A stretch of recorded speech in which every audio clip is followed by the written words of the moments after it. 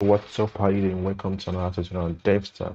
So in this tutorial, uh, yeah, we are going to be building this using Tailwind CSS. Yeah, so this is what we're going to be. We're not going to be building this. This is what we're going to be building here. So there's this page right now. All right, so without further ado, let's just dive into it. All right.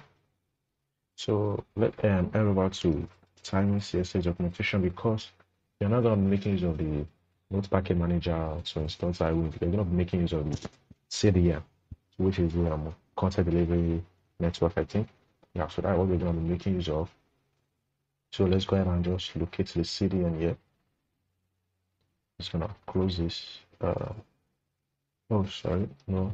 Um, yeah, just, I'm just gonna do that here. So using Tailwind CSS, that's what I'm gonna do. Before, well, before we do that, let's go ahead and go to our desktop. Go to where you want to create a project creating my project in the desktop folder. I'm gonna create a new project from the text in the desktop folder called uh, UI. Okay. Uh, the folder is gonna be yeah. So UI, I'm just gonna open the terminal here, and I'm gonna use the terminal to open uh, the folder in Visual Studio Code. Okay, good. Alright, so once this is actually opened up already, let's go ahead and create a file called index.html. Let's create a file called index.html. While that is creating, um, let's head over here, grab this stuff, but there's a limitation to using the CDN. We will not be able to customize it I mean default thing. We cannot use apply the variants. So just check, just check the documentation, read about it and um, be able to see it, we can use the group focus store. We can install dot package, a third party package or plugins. Just read documentation, you'll see what I mean. I said index of system, I did index commercial, I'm sorry. So it's gonna be index dot html. Okay, so what I do is um, let's go ahead and create a boilerplate. So we can just name this UI. So I'm just gonna save this and let's open this let's put h1 sorry. H1 uh, hello world okay so let's save this uh, open this with live server. So make sure you have the live server extension installed. So so the more i edit the more i see the changes it auto refreshes by itself. Let's go and paste our link here. And you notice yeah so this is already working. You can see the scanning of the h1 has actually gone. So that is actually the work of Tailwind css so we need to build what we want ourselves. So basically i can achieve the h1 back just by adding a class here. A class of text 2xl. Text 2xl. You can see the text is large already. Then i can go ahead and do font bold. I say i have font bold already. Excuse me Okay, but that's what you're going to be doing here. So let's just delete it. So now Tailwind CSS is um is mobile first actually. Excuse me. is mobile first actually meaning um is the utilities are based on mobile screen first. So for this tutorial, you are going to be targeting just the mobile screen. Okay, so let's just actually let's just, just dive into it. Okay, so this is what we are going to be having. Um, I think I can just zoom this. Okay, so the first we need is um these two icons at the top. So to do that, we need to let's let's make this um um, responsive. So I did i was just I did Control Shift I.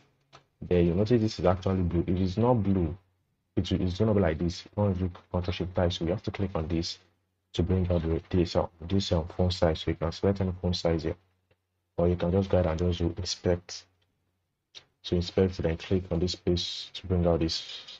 Okay, so what we want to do is um pick up some icons. So let's go ahead and do arrow icons. So while that is loading, let's head over to this place and let's create a view so this div is going to be handling this. So before we check out the pattern, let's go and add the flex so because what we need there is a flex. The flex, so we need a div here. Let's say hello. Then I need another div here. For the second icon, let's say word. So if I should save this, yeah, I should be having this. Then I can go ahead and do justify justify between. You can see separated already. So what I'm gonna do is add um so I'm just gonna put this here some padding at the top. So yeah, from this place here, let's do class equals padding. So padding on around, let's do padding of eight. No, padding of four, I mean. Uh, let's do eight now. Just do eight. Yeah. So eight is good. So let's go ahead and pick up the icon. So the first icon is a menu bar. So let's do menu. And I think it's on this one. Is the one with two two stuff. Yeah, so it's not. Let's just go ahead and pick this. Copy the SVG. So in this place, I'm just gonna put this here.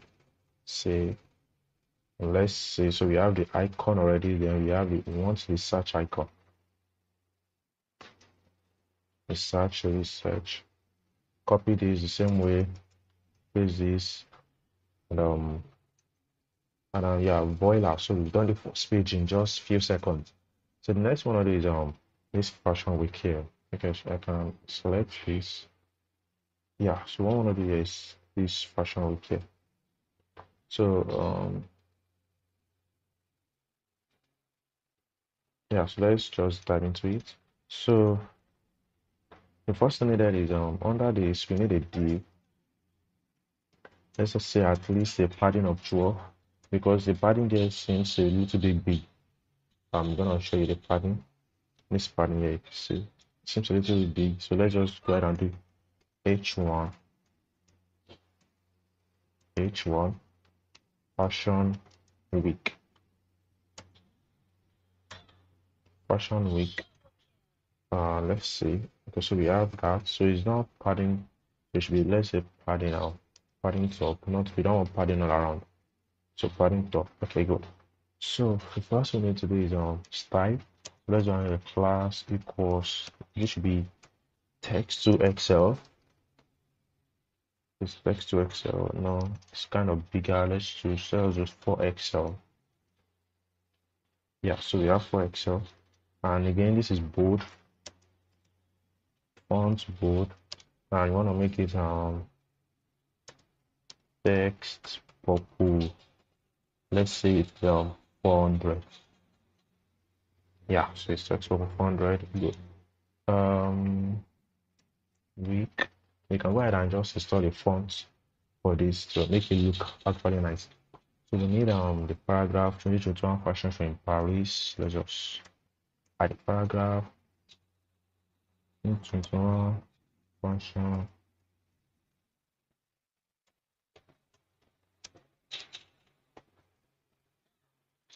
So 2021 fashion show in paris so we add that. So we need like a little bit of padding. So i can just like add padding top of two over here. So this will act as a box. Okay so we have that padding. And you notice the text is actually bold. So you can do class font let's do semi bold. So it will not be fully bold. So we have semi bold oh good. So the next thing we need is another flex with explore and this icon. So let's go and go down there.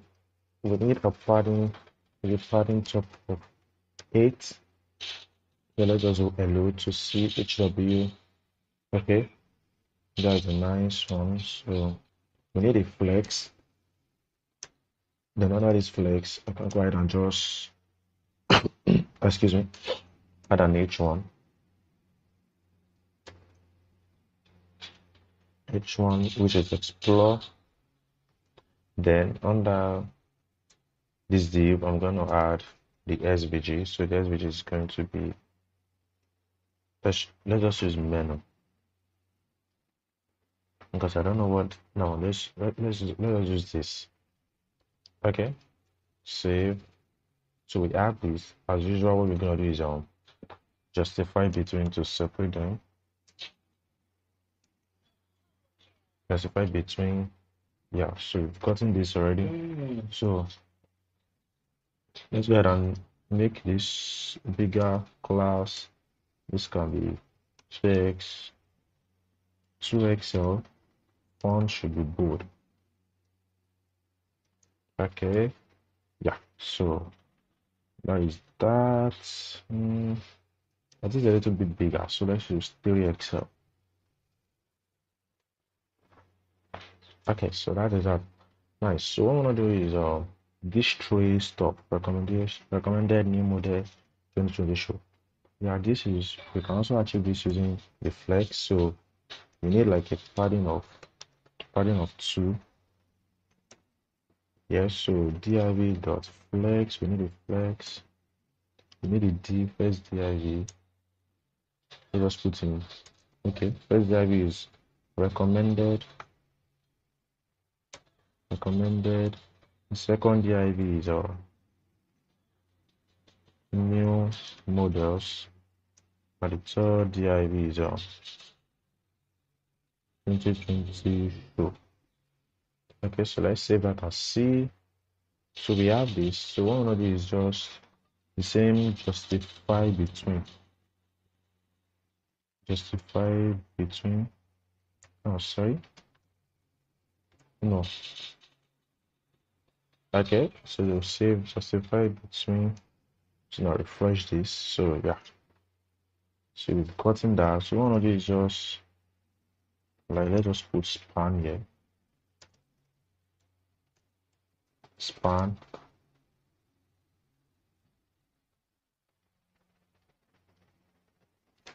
span so we want to make this class of yeah text purple 400 because it's the only one with the purple there see?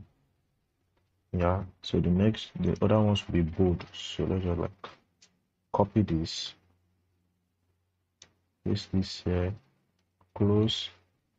So instead of purple let's just do font bold.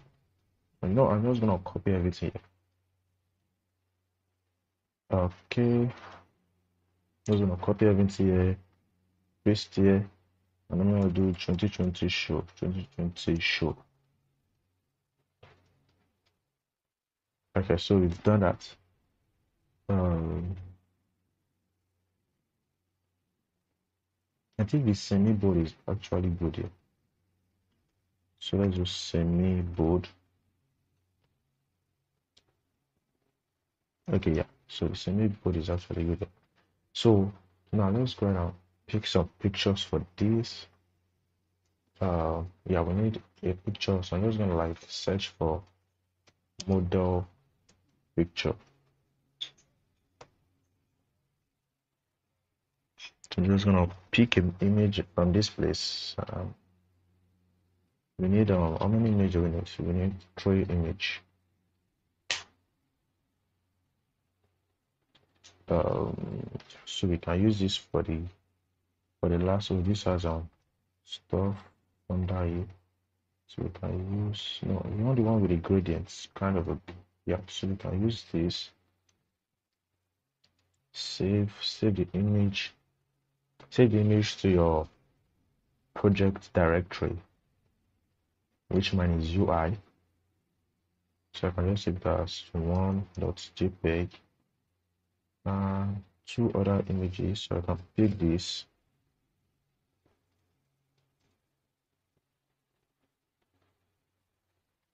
save image. If some image are too small, we have to download another image actually. Save the image, um, let's pick the last one. Yeah, let's use this. So let's save this image 3.jpg. Okay, good. So let's go ahead and do that. So in that case, we need a div.flex here that takes in, yeah. So before that, we need a padding, sorry. We need a padding top of 4. then div dot flex here then div so we have two image then another div so the first one i'll do is load the image so the image is um let's use 2.jpg an image 3.jpg so let's save this and see what happens. Uh, okay so we have so we have this image. Uh sorry. Okay. So we have this first image showing up. Minimize. Um let's justify between okay i think yeah because of the image weight maybe or the other image is not just shown 2 dots jpeg 2 dots let me check 3 dots jpeg this 3 dot jpeg then okay this is jpeg okay like jpeg jpeg yeah so you can see you can see it's actually sense on on laptop too. So we have these two images and uh, yeah so the first one i do is um just like space x or 4 so we need a space between them so that space then you can go ahead and do class class rounded large. So it's to make the image round. Yeah it, it maybe it's not like this but i think that is round or let's just check.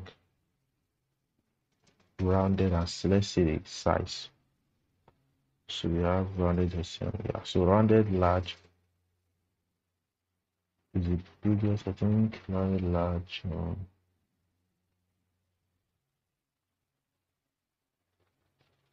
mm, I think there is a um, large here they are. No, let's try rounded full. No so let's just keep it to the rounded large. Okay. The same way we're gonna do for this.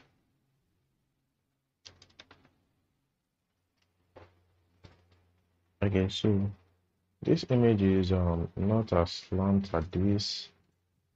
Um hopefully there will be a fix for that. Let me just check it out. So let's say we have an height of eight percent. Yeah so we can fix that by height of 60 percent. Uh let's do 50 no so let's do 57 60 sorry yeah then you can do width of also let's just say 40 too small let's do 60 on normal notes you're not supposed to be editing the images like this. So uh 90 hopefully. Yeah so we have this. We have this actually which is getting you can you can see because of the width and height we did so it made the image blurry so i think if we can just like add object cover. So hopefully just makes it come back a little bit yeah. So good. So it is clear now. All right so we've done this first and second part. So the last we need these names here. So you can just go down here and just like add a name. So let's do paragraph. Let's do Nikita Williams? Williams. And um so she's in Paris well hopefully she sees Messi. Paris? Okay let's save this. Yeah so we have a so we want to make um class should be text of yeah semi bold. Let's do text just extra large. No this is not this font. Okay. Yeah so we've done that. Uh, I think there's a padding here so let's do div dot padding top of two. I think this one is too large. Let's do nd medium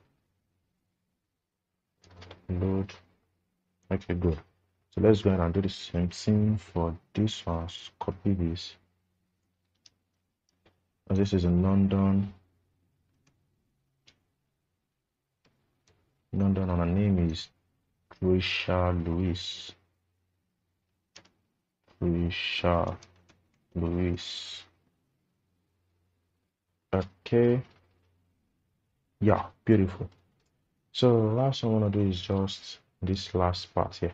So which is just let's just add the div and let's see yeah. So there's a padding, there's padding of four.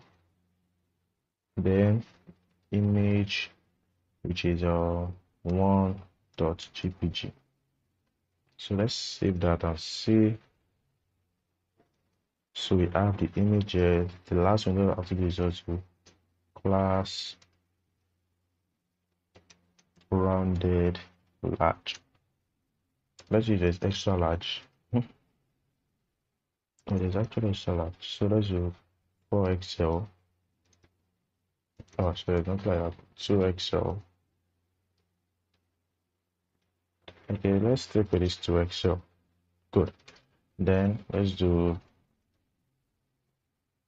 height of because you know this height is actually the is like this so let's do height of 16 and let's see what happens.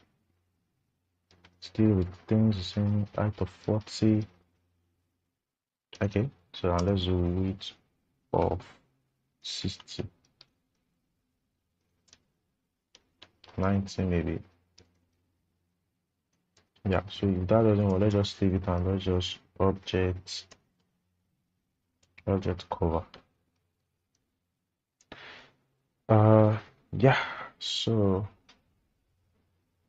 basically yeah so this one is up so we built this ui not exactly out this but we're able to just achieve the same thing using Tailwind CSS all right so if you want more of this tutorial in the next video it's going down below and let's see you next time. And you can see also on um, system it doesn't look bad you know. You just have to make some configuration on it. All right so basically this is mobile first uh yeah we nailed it. See you next time. Thanks for watching. And uh goodbye